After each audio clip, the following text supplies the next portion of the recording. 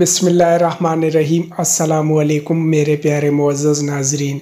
प्यारे नाजरीन, आज मैं ब्रेलवियों की बाबा जानी इलियास कादरी की रुदात, इसकी कहानियाँ, इसकी फ़नी वीडियो क्लिप्स लेके आप लोगों की खिदमत में हाजिर हुआ हूँ। यह जो ब्रेलवियों की बाबा जानी इलियास कादरी है, इसको देख के मैं हैरान हूँ। इसका ये हाल है तो ब्रेलवियों का क्या हाल होगा? मेरे प्यारे दोस्तों, मेरे एक बहुत ही प्यारे और मोहतरम भाई हैं।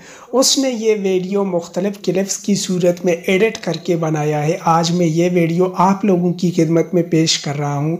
आप लोग ख़ुद देख लें, इंसाफ से आप लोग बताएँ कि क्या इन लोगों का ये जो फ़िरका है, इन लोगों का ये जो मकतबा फ़िक्र है, क्या ये सही है? क्या ये सही रास्ते पे चल रहे हैं? तो चलिए आइए ब्रेलवियों की बाबा जानी की करतूत कारनामे और इनकी फ़नी क्लिप्स देख के इंजॉय करते हैं और साथ साथ इनकी करतूतें भी देखते हैं। तो चलिए आइए वीडियो की जाने बढ़ के वीडियो का बाकायदगी से आगाज़ करते हैं। Hey, तो हम दोनों गोया निकलना चाहते हैं तो एक इस्लामी भाई इनकी तरफ़ पीट करके खड़ा हो जाए।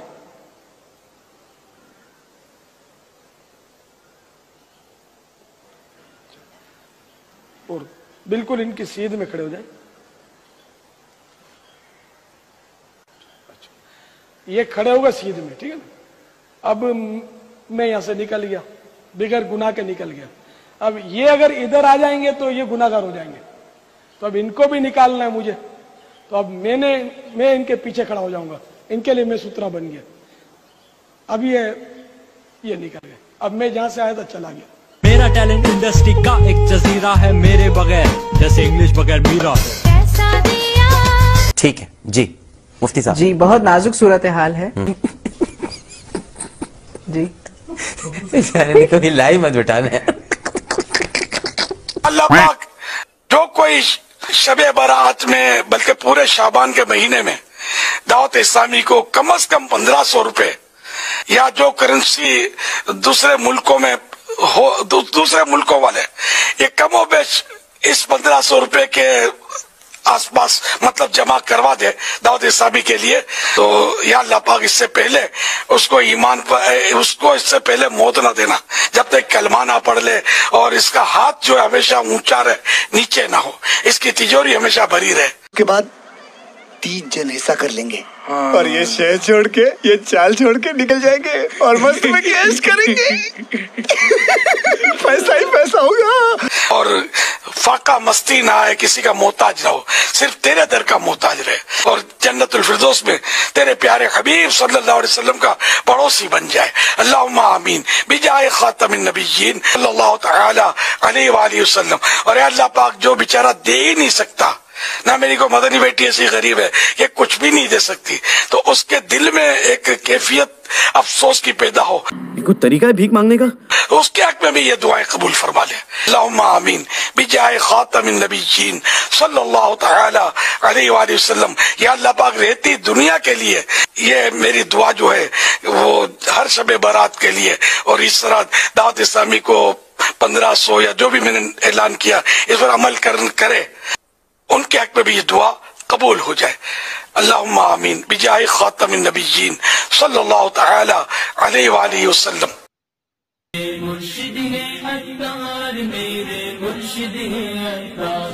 पापा जान, ये आप क्या कर रहे हैं? ये दरअसल वो केले है ना। देखो बेटे, यूँ रखेंगे ना तो ये वज़न से यहाँ ये दबकर तो पिचक जाएँगे। तो काला हिस्सा हो जाएगा, नरम हो जाएगा। तो क्वालिटी नहीं रहेगी तो इसलिए आपने देखा अगर ये ठेले वाले, बेचने वाले तो यूँ रखते हैं।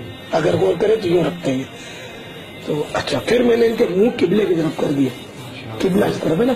तो किस, हर चीज़ का मुँह किबले की तरफ़ हो सके तो रखना चाहिए। एहतराम की नीयत करेंगे, काबे की ताजीम भी तो इसका स्वभाव भी मिलेगा। तो सही तरीका इसका ये करके निकेले नहीं है जैसे। तो इसको डोरी में डालकर कहीं मतलब मुनासिब जगह पर लटका दें। तो इससे ये मजीद इसकी क्वालिटी बरकरार रहेगी और डैमेज नहीं होंगे।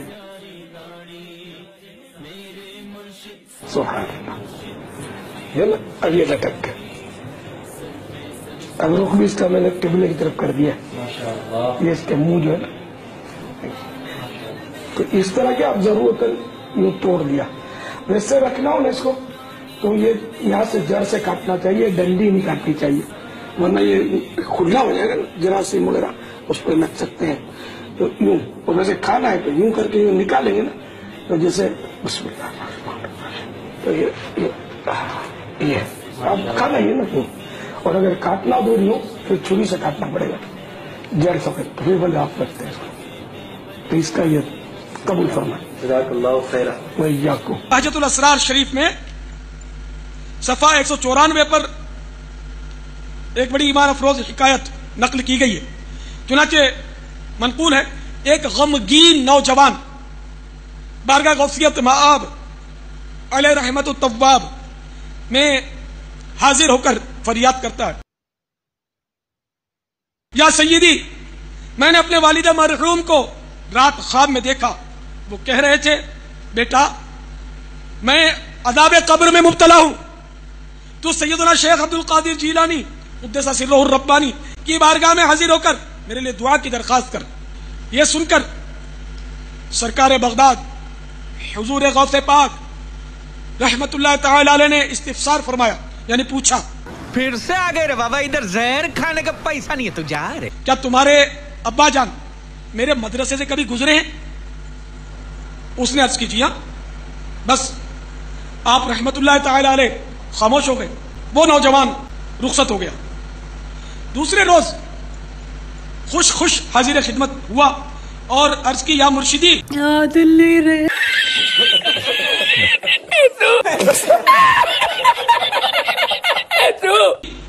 आज रात वालिद मरहूम सब्ज हुल्ला साहब।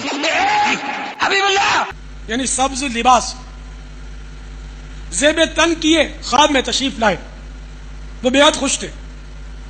कह रहे थे बेटा सैदना शेख अब्दुल कादिर जीलानी कुद्दस रब्बानी की बरकत से मुझसे अदाब दूर कर दिया गया है और ये सब्ज हुल्ला यानी सब्ज लिबास का जोड़ा भी मुझे दिया गया है। ऐ मेरे प्यारे प्यारे बेटे, तू इनकी खिदमत में रहा कर। ये सुनकर आप रहमतुल्लाह ताला ने इरशाद फरमाया जलवा है हमारा। मेरे परवरदिगार, जल्ल जलालू ने मुझसे वागदा फरमाया है, मुझसे वागदा फरमाया है, मुझसे वागदा फरमाया है कि जो मुसलमान तेरे मदरसे से गुजरेगा, उसके अदाब में तखफीफ, यानी कमी की जाएगी। तो सरकार गौसे पाक ताला ने सरे मुबारक जरा सा झुका लिया। तो आप रहमत पर जलाल वक़ार के आसार ज़ाहिर हुए और कुछ देर के बाद फरमाया मुझे अभी अभी फरिश्तों ने बताया। मुझे अभी अभी फरिश्तों ने बताया। मुझे अभी अभी फरिश्तों ने बताया। देख लो। इसने आपकी जियारत की है और आपसे इसे अकीदत भी थी। लिहाजा अल्लाह रब्बुल इज़्ज़त ने इस पर रहम फरमाया। आप कहा के ज्ञानी बाबा? अब इस आखिरी वीडियो के अंदर ना ही तो ये किसी आयत का तर्जमा कर रहे हैं सरकार, ना ही तो नबी पाक सल्लल्लाहु अलैहि वसल्लम की ज़िंदगी के हवाले से गाइड कर रहे हैं। उनकी मुश्किल बता रहे हैं कि उन्होंने दिन के लिए कितनी मुश्किलें काटी, उनके सहाबा ने कितनी मुश्किलें काटी, नबी के घराने अहले बैत ने कितनी मुश्किलें काटी? नहीं। कोई मुश्किल नहीं बता रहे। नबी पाक ने पेट पे पत्थर बांधे। नबी पाक ने कभी किसी मुर्दे को ज़िंदा नहीं किया। नबी पाक ने कभी कोई बारह साल पुरानी बरात ज़िंदा नहीं की। नबी पाक से कभी चाँद ने नहीं पूछा कि मैं कब निकलूं, आपकी इजाज़त हो, ईद का चाँद हूँ, मुझे बताएँ, जब आपने हुक्म करना है, मैं निकल जाऊँगा।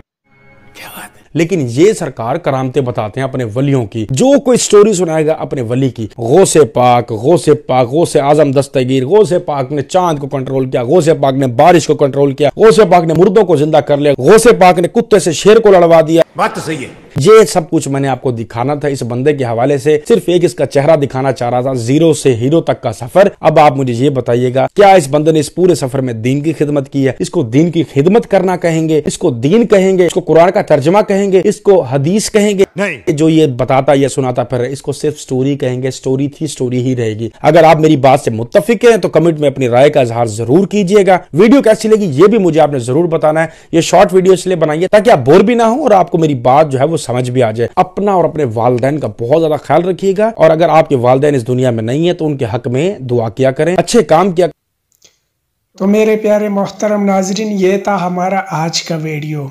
हम उम्मीद करते हैं कि आप लोगों को हमारे वीडियोस पसंद आ रहे होंगे। तो आप दोस्तों से गुजारिश है कि वीडियोस को अपने चाहने वालों के साथ ज़रूर शेयर किया करें, ताकि ये जो ब्रेलवियों के करतूत कारनामे हैं, ये भी आप लोगों के ये जो चाहने वाले हैं, उनको भी पता चल जाए। तो मिलते हैं एक ऐसी ही दिलचस्प और इंटरेस्टिंग वीडियो के साथ। तब तक के लिए इजाज़त दीजिए। अल्लाह हाफिज़।